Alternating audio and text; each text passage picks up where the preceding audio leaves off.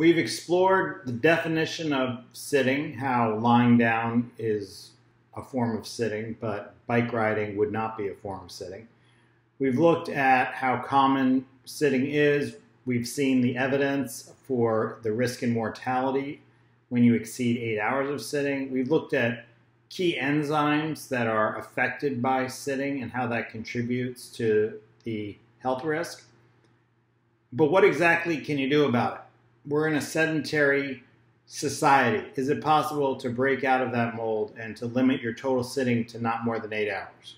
It most certainly is. And we'll take a look at some tips that have worked for me and thousands of other patients. It's pretty simple buy a standing desk and use it. It's simple in theory, but in practice, it can be more challenging. I would say that 90% of the patients I see own a standing desk, and about and 89% of the patients I see don't use it. So what's happened is people have at one point decided it was a good idea. They uh, bought the standing desk and uh, installed it and thought this is a great idea. And they looked at the standing desk as they went back to sitting by their computer and working and they occasionally thought, well, I should stand. And in the first couple of weeks, they probably stood a couple times. And then next couple of weeks, they probably didn't stand at all. And then they come in to see me months later and they're not standing at all and they're still report having a standing desk. The problem is that the standing remained a act of will. So their default remained sitting and it would take a decision and effort to stand.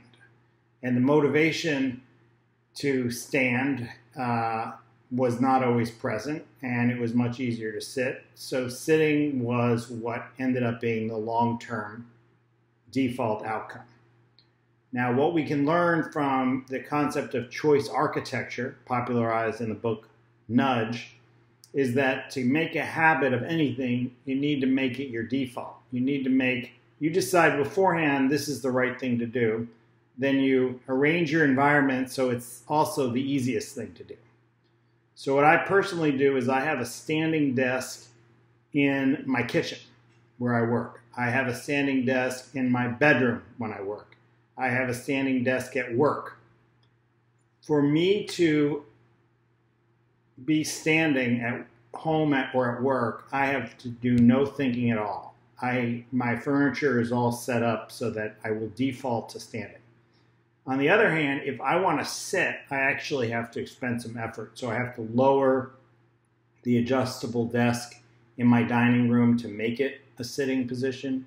I have to pull in a chair from another clinic room to sit at my job at work.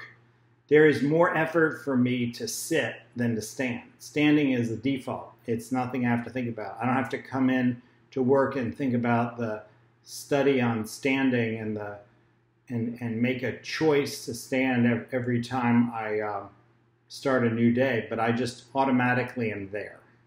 So my recommendation is not only buying the standing desk, but making your default work and home living situation such that you don't have to think about standing. It is the automatic default.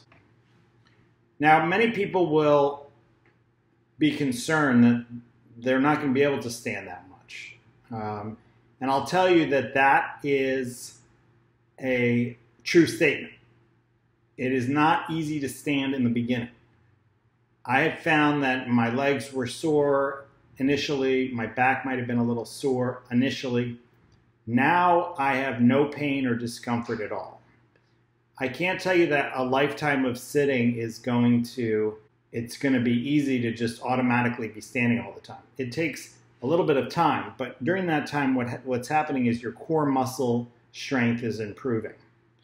And you're going to be able to adapt to, with a stronger core and a stronger leg muscles to support you while standing.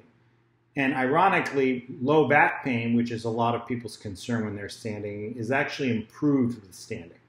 When we sit, our low backs take on all of the weight of the upper body. When we stand, we're able to share the weight from the upper body with our quadriceps and hamstrings and the rest of our leg muscles, which allows us to be better supported and relieves any strain on the back. So while I'll say that definitely there could be a transition period, this transition where you might feel that it's hard to stand is going to resolve, and the outcome will be you have a stronger core, less back pain, and stronger leg muscles.